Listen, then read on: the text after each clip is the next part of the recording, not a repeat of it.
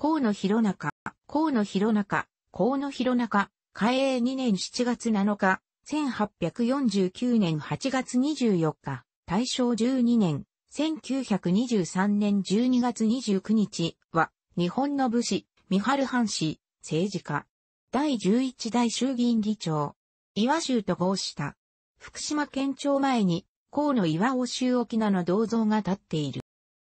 嘉永2年7月7日、1849年8月24日、道の区国三春藩号士、河野博士家と妻、理由後の三男として生まれる。河野家は百国を急せられるほか、呉服商、酒造業、魚問屋などを手広く営んでいた。川前紫系に儒学を学び、その影響で、尊老上理論を唱えるようになった。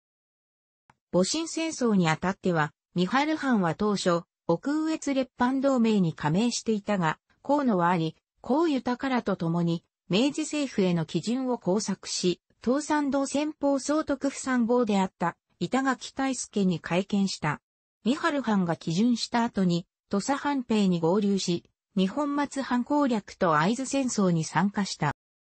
明治維新後は、地元で若松県県所属、古町、区長などを歴任した。明治6年、1873年2月には、岩前県第14区、後の福島県時和町、源田村市副区長に任命されるが、この頃、ジョン・スチュアート・ミルの自由のり、中村正直の訳を読み、自由民権運動に開眼する。10月には区長になり、河野は地元で全国に率先して民会を起こし、区内の民生について審議せしめた。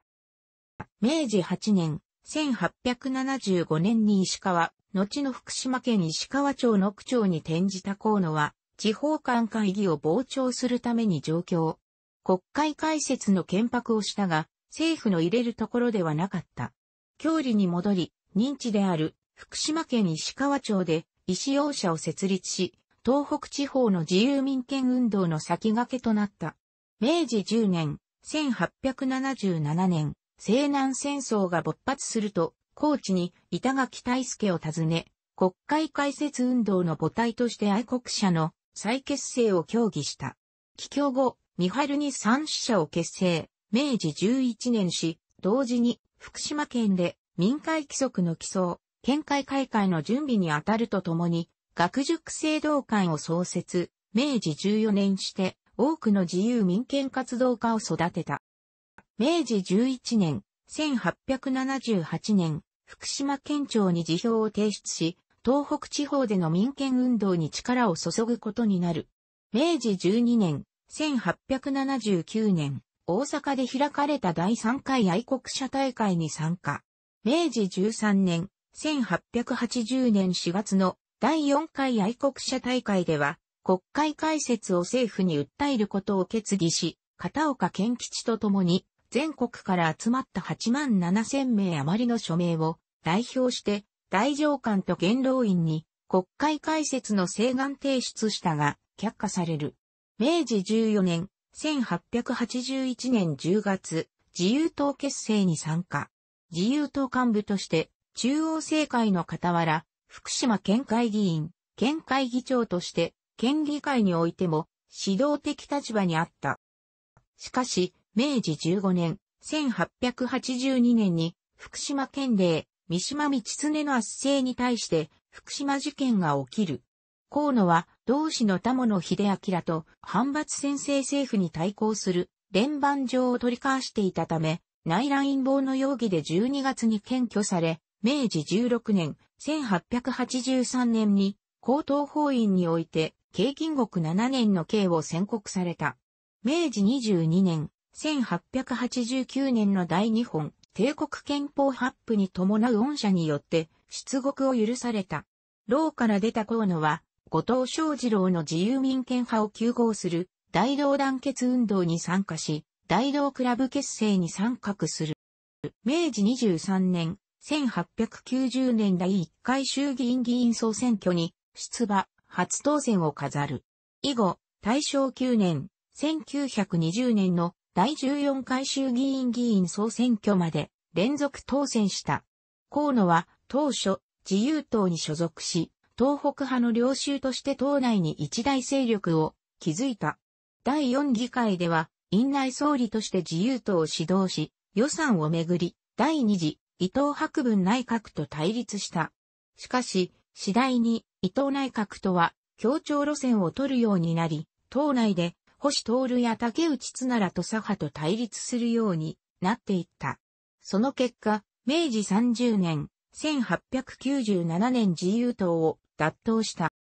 明治31年、1898年6月、自由党と立憲改進党の後ろ身である進歩党の合同に尽力、県政党の結成を見た。しかし、すぐに、県政党は分裂志向のは、古巣の旧自由党系県政党ではなく、大隈重信ら旧改新党系の県政本党結成に参加した。その後も、反発政府を批判し普通選挙運動と、対ロ強硬外交を主張した。明治36年、1903年、第11代衆議院議長に選ばれたが、12月の第19議会会員式で、対ロ強硬派の立場から直後法答文で、桂内閣弾劾を朗読し、政府はこれに反発し衆議院解散に至った法答文献。明治38年、1905年、ポーツマス条約に反対し、9月に日比谷公園で講和条約反対を目的に開かれた国民大会の議長として日比谷焼き討ち事件を先導する。後に建築家、新宿末広定石亭となる当時14歳の北村銀太郎は、四谷でボートを先導する姿を目撃している。